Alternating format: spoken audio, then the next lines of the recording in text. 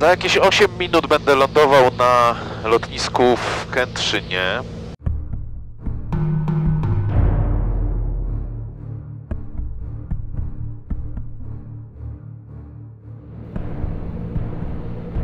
Informacja Sierra Papa Mike, India Bravo?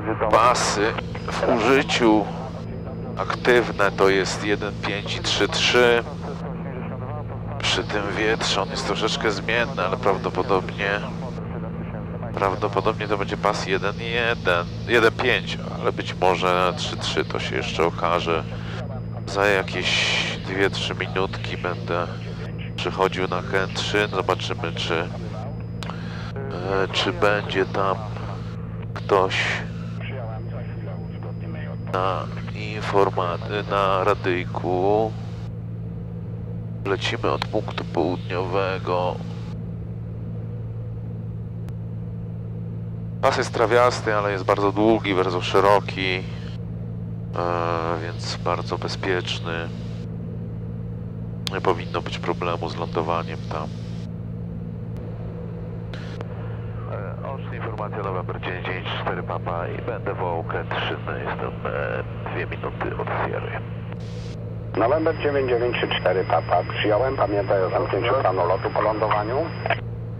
Wiem, muszę pamiętać, bo ciągle zapominam. Obiecam, że zamknę. Dzięki, cześć. Cześć.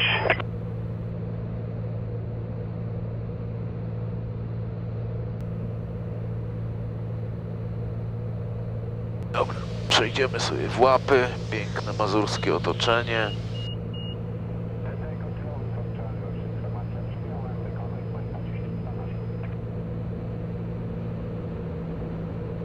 Kętrzyn Radio, dzień dobry, czy ktoś mnie słucha?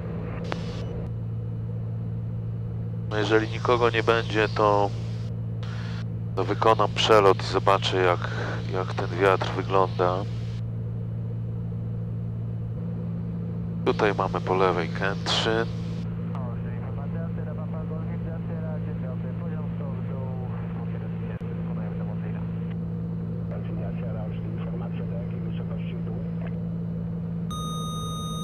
Altitude. 1.5 chyba, ale jeszcze sprawdzę. Przechył to przechył, dzidę robimy.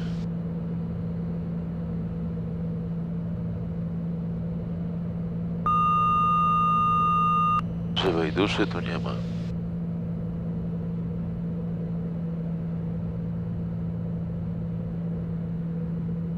Spojrzę sobie chociaż na pasy, na wiaterek. Altitude.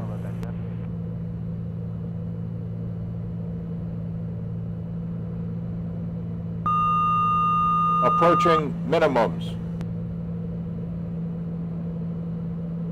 Bezwietrznie. No to na trzy.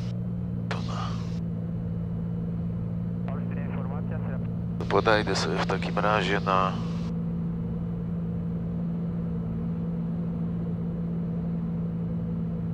Trzy, trzy. I od razu podkołuję.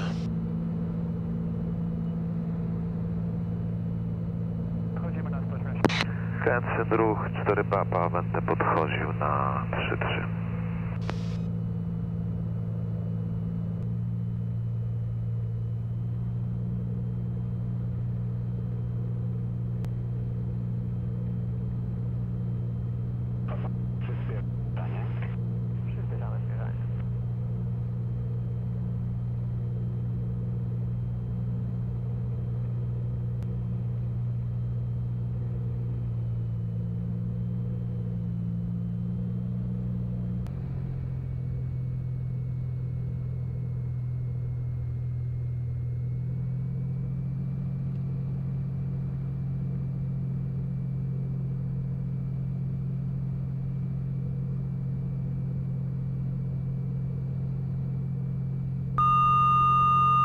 Approaching minimums. Minimums.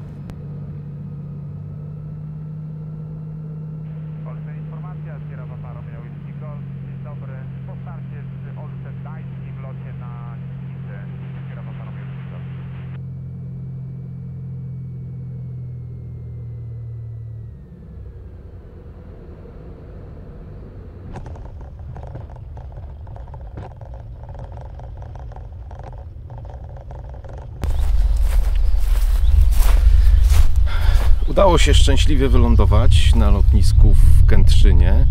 Jak widzieliście, e, pas jest bardzo długi. To prawda, w połowie w tej chwili wystrzyżone, ale w zupełności wystarcza.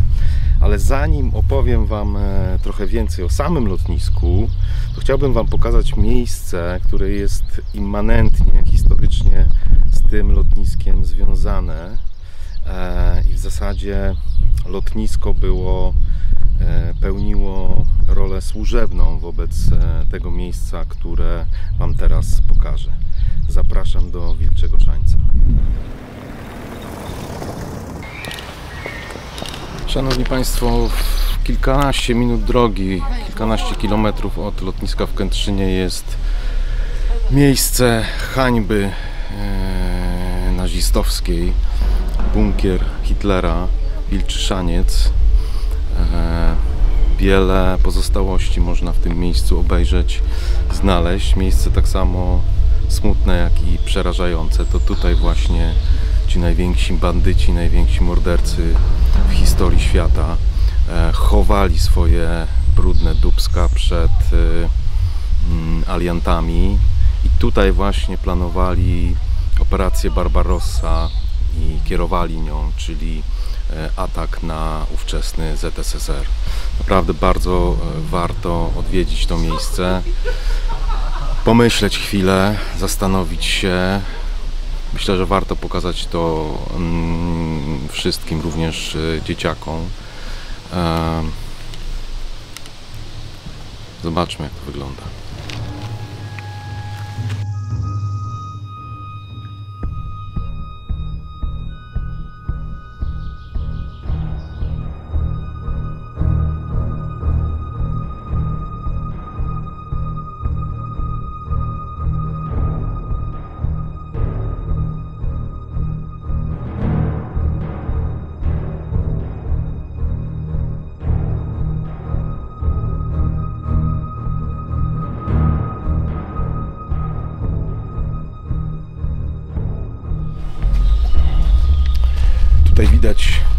Pęknięcie w murze. Zobaczcie, ten ściany tego bunkra miały około 5 metrów e, grubości. E, Przy okazji tego pęknięcia, które powstało e, z czasem, widać jak nieprawdopodobna była to konstrukcja, jak bardzo naziści bali się o swoje życie.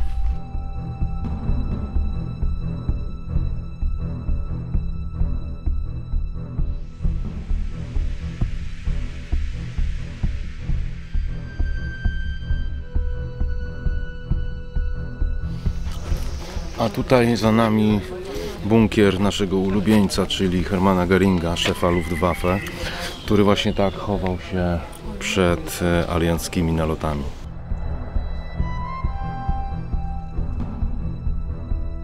A to, co tutaj widzimy, to dom Hermana Geringa. Oprócz schronu e, wybudował sobie jeszcze dom. E, Gering był znany z przepychu i umiłowania luksusowego życia. E, No jak to pilot, albo przynajmniej część pilotów. Natomiast piloci, no może mają piękne domy, ale jak bombardują inne kraje, no to ich domy będą wyglądać właśnie tak. No dobrze, jesteśmy z powrotem e, na lotnisku.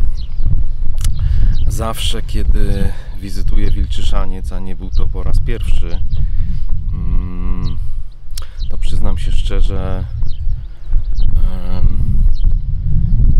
jestem trochę smutny, nie wiem jak to inaczej nazwać. E, Mam nadzieję, że historia się nie powtórzy. Chociaż moja nadzieja jest płonna, bo zdaje się, że właśnie się powtarza. Miejmy nadzieję, że przynajmniej inaczej się skończy. W każdym razie e, porozmawiajmy w tej chwili trochę o samym lotnisku i o tym, e, co się tutaj dzieje.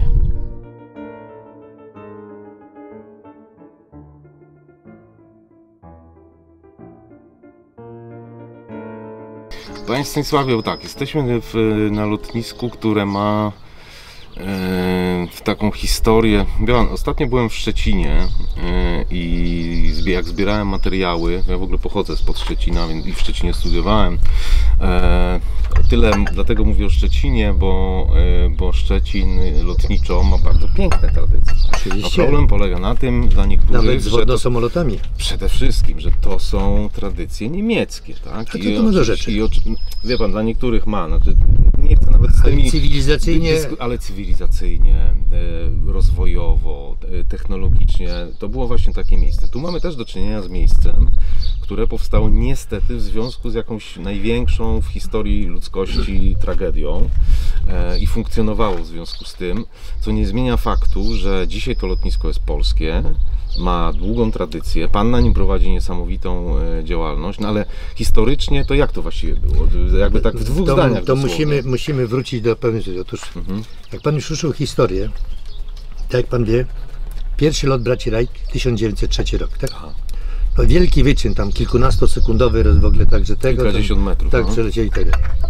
Proszę sobie wyobrazić, 7 lat po tym ro- locie w Reszlu, a więc niedaleko, Mhm. Tak. w powojennie nazwanych zakładach e, Rema, Mhm. był zbudowany bardzo nowoczesny samolot. Konstruktorem i budowniczym był inżynier z e, Rastenburga, czyli z Kętrzyna. To jest dwa, dwa, tysią- e, 1910. Proszę zauważyć, że w okresie międzywojennym praktycznie tu było kilkadziesiąt w Prusach lotnisk, lądowisk i miejsc przystosowanych do startu wylądowania. Tu przylatywał, na jeziorze Niegocin lądował Dornier do X, 12-silnikowy samolot. E, sześć ciągnących, sześć pchających, prawda, e, i tak dalej. Przywoził 100 ludzi. To wtedy jeszcze dolotcem. Proszę zobaczyć, pierwsza połowa XX wieku. A, A my jesteśmy w pierwszej połowie XXI wieku. no wie pan właśnie a propos, to przecież I- połączenie, po, połączenie e, Niemiec tych właściwych, czyli e, nad Bałtykę, Szczecin, Berlin i tak dalej, właśnie tutaj z tymi terenami, No, Prusami, jasne. Królewcem, wręcz prowadziła nad wodą, y, dlatego stąd te wodno-samoloty, nie? No też, ale proszę zwrócić, ja rozumiem, że w technice mm, niemieckiej, prawda, no był taki element również w ogóle strategiczny. Nie było połączenia Prus, trzeba było przywieźć. Nie, nie, no dobrze, ale to początki ery lotnictwa. No tak. No w 900, 909 roku bodaj bracia Wright przylecieli, znaczy pokazali dopiero swój samolot w Europie w ogóle. Nie? Nie, no ale tak czy to, więc patrzę, tu zresztą jak pan pamięta był w 2011-2012 S-38 Sikorski. Prawda? No też historia w ogóle lotnictwa światowego. No oczywiście Katalina, która można pod hasłem na oceanach, z oceanów na Mazury, prawda? Także tego. tak. No wprawdzie ta konkretny egzemplarz wcale nie rozszyfrował tych floty japońskiej, ale Kataliny rozszyfrowały flotę A japońską. wie pan, że byłem na. Katalinie? Katalina to jest wyspa, e, w, w, to jest wyspa około wybrzeża zachodniego i tam się ćwiczy, e, jak się lata w Kalifornii, to tam się ćwiczy lądowania na wyspie. Aha, To no jest wyspa nie, Katalina. Nie, to akurat nie, nie, nie, nie śledziłem i nie badałem. No ale, ale i wracając teraz do, do historii. Otóż tu w tym rejonie już od lat 20. był w ogóle w Kętrzynie, w Rastenburgu klub lotniczy. Bardzo sobie e, dobrze dawał radę. Budowali sami takie samodzielki różne. Bardzo dużo modelarstwa. No i oczywiście nawet szczerze mówiąc, jeszcze przed okresem wojennym były robione takie rodzaje, można powiedzieć, festynów lotniczych. Niekoniecznie tylko tu, bo tam w ogóle również e, niedaleko Gałwuny, tu w paru miejscach wokół, tego takie miejsca były. Natomiast e, to e, lotnisko ono składało się jak gdyby z dwóch majątków. Z majątku Wilhelmsdorf, który był na, pół, na północy i z, z majątku Weissschnuren, moich poprzedników w Weissschnorach, czyli Drewsów. I to, dopiero zaczęto w ogóle budować w 1940 roku. Z tym, że wcześniej to było to jako takie lądowisko, można powiedzieć aeroklubowe, trawiaste lotnisko. Potem oczywiście e, zaczęli pod kwatery Hitlera i oczywiście najpierw było budowane od strony, od części tej południowej, gdzie powstały dwa duże pasy, prawda, każdy po 50 metrów szerokości, a potem kolejno praktycznie przechodzono z różną infrastrukturą. Tu w otoczeniu tego lasu jest mnóstwo naprawdę śladów byłej infrastruktury, łącznie z oczyszczalnią ścieków taką biologiczną oczyszczalnię ścieków. Również tam dalej są stojanki Messerschmittów. To było lotnisko wyłącznie funkcyjne, to nie było lotnisko operacyjne. Mhm. Czyli Czyli- Barbaros, z Barbarosą nie miało nic wspólnego. Nie, nie, nie, to było absolut- te- to było- techniczne na inaczej, potrzeby. To było lotnisko wyłącznie dla pewnej logistyki lotni, e, kwatery Hitlera Mhm. e, i kwatery dowództwa wojsk lądowych Wehrmachtu Mhm. w Mamerkach. Także tu się, tak więc tu się wszystko odbywa. Ale również mamy i są nawet, tak da się odszukać, są takie filmiki na przykład z przylotu e, Mussoliniego. Mhm. Bo jak pan pamięta, jak e, bo Mussolini przyjeżdżał pociągiem, to zresztą był tego dnia nawet kiedy był zamach. To przecież po prostu był W lipcu 44, 5? Tak, czwartego roku. Czwartego. E, mianowicie, e, dlaczego mówię? Otóż e, jak e, internowany był Mussolini, to Otto Skorzenny ze swoimi spadochroniarzami uwolnił e, Mussoliniego. No i jak ich uwolnił, no to przyjechał po nagrodę do Hitlera. No więc 14 września przywiózł, po 12 uwolnił, 14 przy, przywiózł tutaj, jest lądowanie, Hitler wita na lotnisku, prawda? 5 dni był w kwaterze, potem z powrotem odlatywał, bo potem spełniał też taką no, kadłupową tam funkcję też w ogóle po prostu jeszcze po tym uwolnieniu i tak dalej. Także, ale również po prostu innych. Tu, jest tu, tu wiele rzeczy się działo właśnie takich przylotowych, no nie mówię o tym, że na przykład tu w tym lotnisku odbyła się katastrofa samolotu Toda. Nie wiem, czy pan. No, otóż e, też było tak, że Todd miał lecieć podobno najpierw swoim samolotem, ale jego samolot był w serwisie. No więc e, dostał zastępczy samolot. Miał lecieć nawet podobno z nim szper, ale potem szper się rozmyślił, natomiast tylko Todd. I to był, jak gdyby, owszem, pilot Tota był, ale samolot był inny. Samolot wystartował tu na kierunku 320, nie wzbił się dosyć wysoko i zaczął nagle wracać. I na, więcej na wysokości tej południowej Przeciągnął. części, nie, zdetonował się. I oczywiście są, Czy silniki wybuchły? Czy... nie, w ogóle cały Bomba, samolot. zamach, tak? Inaczej.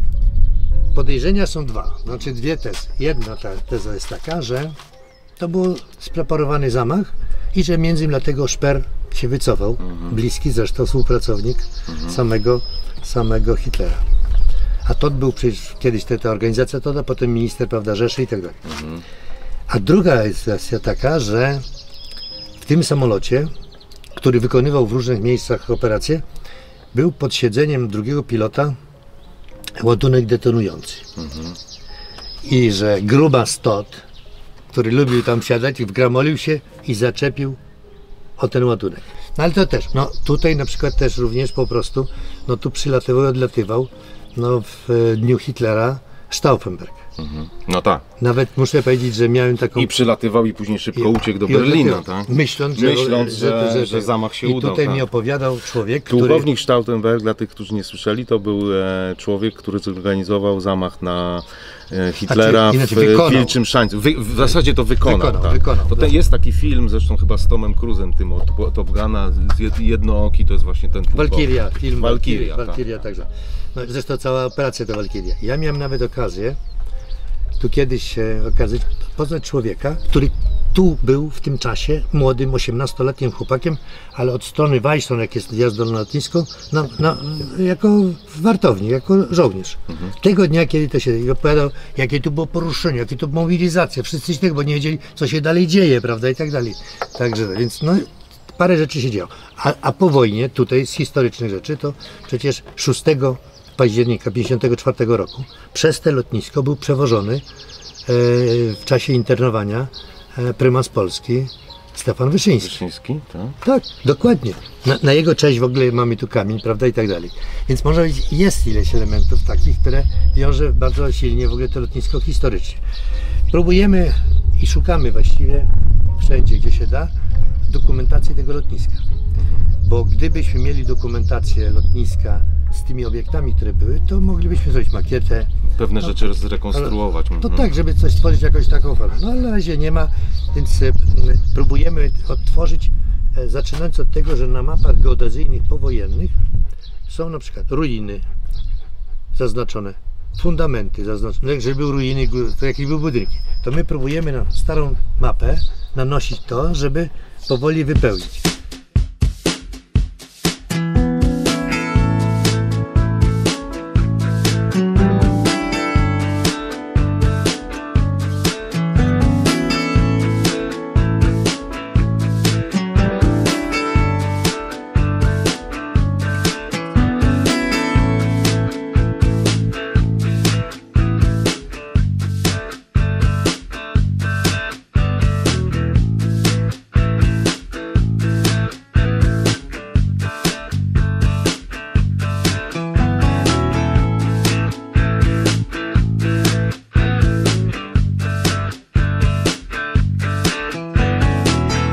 Pan mi powie, panie Stanisławie, parę rzeczy takich.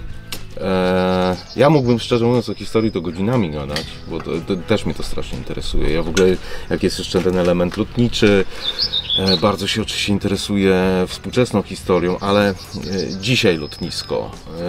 E, lądowałem przed chwilą. Pas jest imponujący, 1000 metrów, ta trawa jest 200 równa- nawet. nawet 1200. Ta trawa jest równa jak stół. E, dla, jest, jest połowa wykaszona, w zupełności wystarczy. Jest piękny pas. E, oprócz, oprócz tego, że e, prawie tycznie co roku odbywa się tutaj pana impreza, o której zaraz chwileczkę jeszcze powiemy, to, e, to co się dzieje na lotnisku? Są Znaczy, ja może jeszcze tylko do, do pasa. Otóż wyznaczony jest normalnie szerokości 50 metrów, tak, ale ponieważ też z pewnej jak gdyby dozy oszczędności no jasne. kosimy tyle, żeby samolot się zmieścił. W A, a zupełności 50 wystarcza. jest dla celów, dla celów przede wszystkim bezpieczeństwa. Bezpieczeństwa. Mhm. Natomiast e, e, nie jest to aż taki pas, jak był poprzednio, Mhm. ponieważ nam zniszczyło wojsko. Wojsko. Inaczej, Bryza, mimo naszych ostrzeżeń, operowała tu ze skoczkami spadochronionymi i takie porobiła kolejny, że nie dało... Ciężko było to usunąć. No, w ogóle musieliśmy przesunąć nawet pas w ogóle. Ale inaczej, pielęgnujemy, kosimy, dbamy, żeby ten. I to oczywiście jest jako miejsce bezpieczne dla wszystkich, którzy tu przylatują. Czego widać na przykład jest czyste podejście z każdej strony. Tak. Prawda? E, Także tutaj nie ma problemu. Natomiast no, jeżeli chodzi o to, co się dzieje, no, my głównie, jeżeli chodzi o, o naszą działalność, Aeroklub jako taki koncentruje się przede wszystkim na imprezach i na takim doszkalaniu tych pilotów, którzy są. E, e, Mamy tutaj całą bazę dla e, motolotniarzy, prawda? Korzystają parolotniarze praktycznie też z za wyciągarką. No, Nie, nie, nie, nie są to motoparolotniarze, tylko parolotniarze. Jasne, za- jasne. I nawet muszę powiedzieć, że czasami jest tak się udaje, że przy dobrej termice to potrafią po Ale wyjściu może to stąd, fajnie, bo przynajmniej nie bzyczą. nie, po, po wyjściu na przykład na w górę, prawda, potrafią do Olsztyna dolecieć. No ja. Także te. Nie, no i natomiast oczywiście głównie jest obsługa całego ruchu, który tu jest przylat, e, przylotowego.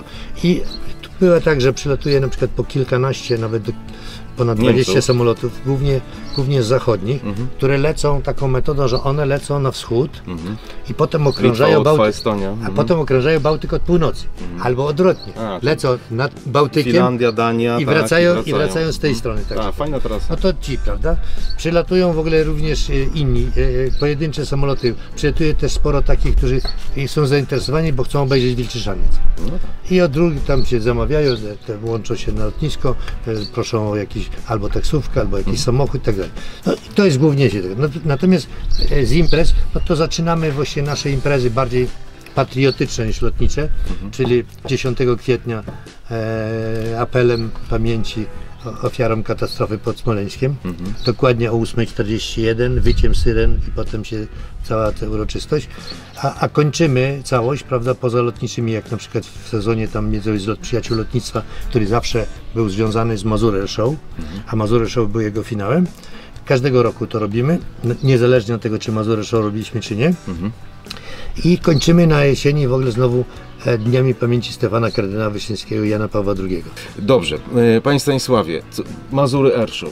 Europa zna tą imprezę jako Mazurę Show. Kiedyś na początek, zaczy... pierwszy rok to był e, e, takie wydarzenie, które się nazywało Festyn Lotniczy Kęczyn, potem od drugiego roku Festyn Lotniczy Mazury, a od 11 edycji właśnie Mazurę Show. I to już na- nabrało takiej specyficznej no, krasy, właściwie szczególnie w sytuacji takiej, kiedy e, nietypowo e, lud ogląda ludzie z jachtów, statków, z brzegów plaży miejskiej, z brzegów jeziora, z balkonów. A, Spektakularne. A, a, a hitem tej całej sprawy jest to, że w każdym miejscu jest słyszalny komentarz. A słyszany jest dzięki temu, że jest przez ten okres czasu radio Airshow. I to jeszcze Tadeusz Sznuk chyba najczęściej daje ten komentarz, nie? Do tej Dawał pory zawsze tak, do tej pory zawsze tak, przez wiele lat i to w ogóle rewelacyjna postać. Potem go zaczął wspierać e, Witek Sokół, No Witek Sokół, pozdrawiamy Witka No. Sokoła. No właśnie. E, I e, ostatnio nawet zadeklarował się, że będzie Witka Sokoła wspierał Jakub Kulecki. Uda się w tym roku, nie uda się kasa. Znaczy, proszę pana, jesteśmy bardzo mm, e, poważnie zaawansowani, przygotowani. Nawet muszę powiedzieć, że mm, nawet ciekawe mogą być samoloty. Włącznie z takim lekkim bombowcem. Ale historycznie. B-26. Okej. To bardzo lekki. No, lekki bombowiec, ale e, on masę startową ma tam 15 ton, masę własną 10300, ale tu Katalina przecież, która wiem, no ma jasne. też prawie 10 tysięcy masę własną, a masę startową 15 do- dooperowała, no byłaby to ciekawostka No, po prostu. super. Także. Więc mamy tam przemyślane, ale na dzień dzisiejszy jeszcze e, nie mamy właściwie do końca informacji, czy jesteśmy w stanie zbilansować się finansowo. Czyli nie macie zamkniętego finansowania. Tak, A potencjalna data? No 6-7 e, sierpnia jest, 6-7 ale w tym tygodniu musimy do końca właściwie, do, znaczy do końca miesiąca przesądzamy, czy będzie, czy nie będzie. E, jak rozmawiamy, czyli do końca miesiąca czerwca. Tak, tak. YouTube, wie. Tak, tak, do. Można oglądać zawsze. Nie, nie, do końca miesiąca czerwca. Problem polega na tym, że e, oczywiście jeżeli nie będzie Mazuryszu, to będzie międzynarodowy zlot przyjaciół lotniczych. Mhm, jasne. I wtedy powiedzmy od, od 4 już sierpnia do 7, wtedy powiedzmy z tymi pilotami. Nawiasem jest dla pilotów, to nawet fajniej, Tak, że jest ja zlot, wiem, bo to bo wtedy się nimi człowiek zajmuje. Tutaj, oczywiście. To się nimi zajmuje. Bo, bo tak, to przecież jest sytuacja taka. Piloci są tylko jakimś tłumem, prawda? Tak, Samoloty tak, w ogóle tak, tak, stoją. A jak tylko jest tego, to my latamy na różne lotniska, podejmują, coś się dzieje. A ludzie i tak wieczory, przychodzą. wieczory śpiewają, to tego. Nie, jest w ogóle inna atmosfera. Nas- I, Byłem tutaj dwa albo trzy lata temu, no to w ogóle kurczę, no czułem się jak, jak Nie, na więc- czerwonym dywanie. No. Nie, nie, ja uważam, że, że to jest to fajne, bo nam chodzi o to, żeby trzymać więź z pilotami. E, mamy takich swoich, jak gdyby w pewnym sensie przyjaciół, którzy zawsze ze Śląska, Mhm. z, Rzeszowa praktycznie przylatują, aczkolwiek teraz pan wie, jak to jest w Rzeszowie, tam jest bardzo skomplikowana No sytuacja. jest trudno. Ja byłem, wie pan, tuż przed, ale na szczęście byłem, na szczęście, nie szczęście, tu byłem tuż przed wybuchem e, wojny w Mielcu. Odwiedziłem Mielec też, e, no bo odwiedzam takie e, lotniska z historią, to, tak jak tutaj. E, I zdążyłem przed, przed wojną, oczywiście nie miałem świadomości, nie byłem jasnowidzem, natomiast e, po wybuchu wojny to tam e, dzieciaki mają naprawdę straszny problem, żeby w ogóle latać. A w Rzeszowie to już w ogóle jest masakra. nie? Tam w tej chwili zarządza tym wojsko, No tak. wyłącznie. No, widzi, widział pan to jest- to jest- Cała wschodnia to- granica to, to- jest jeden wielki To e, e, już Niemiec, e, teran, tu nie? akurat byli dwaj dżentelmeni z Rzeszowa, którzy mianowicie szkolili się na mechaników Mhm. dla ULM-ów. Opowiadali naprawdę, tam w tej chwili jest ruch w jedną i w drugą stronę. Z jednej strony wywożą e, rannych e, żołnierzy roz, tych ukraińskich, rozwożą po różne miejsca, a z drugiej strony non-stop przylatują, no bo tak, przecież to jest główny komunikacyjny w tej chwili lotnisko wojskowe, bo cały transport Idzie cargo, cargo, a potem rozchodzi tirami, prawda, i tak dalej. No więc to w tej chwili chłopcy mają problem nawet się dostać na lotnisko, bo same lotnisko ma bramy. I, No to jest baza wojskowa. i nie można e, zostawić samolotu na lotnisku, tylko trzeba wybrać za bramę. Nie ma komu otworzyć bramy.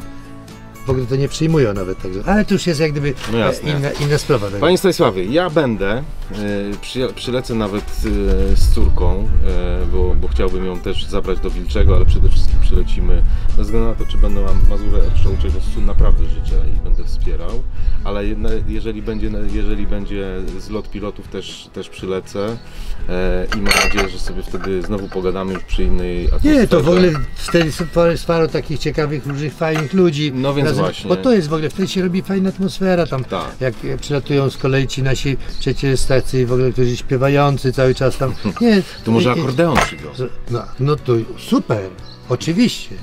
No, No to oczywiście. chyba nie przewalę e, M-tołu, jak wezmę akordeon, nie? Nie, ale nie. Będzie akordeon. Ja mam w razie czego guzikowy. E, No mam nadzieję, że Wam się podobała wizyta w Kętrzynie. Ja sam dowiedziałem się kilku, kilku ciekawych rzeczy, o których e, nie wiedziałem. Więc jeżeli, jeżeli chcecie poświęcić trochę czasu nie tylko na e, wycieczkę lotniczą, ale przy okazji e, dowiedzieć się czegoś o historii, zwłaszcza tej współczesnej, jeżeli kogoś interesuje, zwłaszcza II wojna światowa i również okres przedwojenny, to naprawdę e, to jedno z takich miejsc, które, które warto mieć zaznaczone na mapie i i odwiedzić. A tymczasem lecimy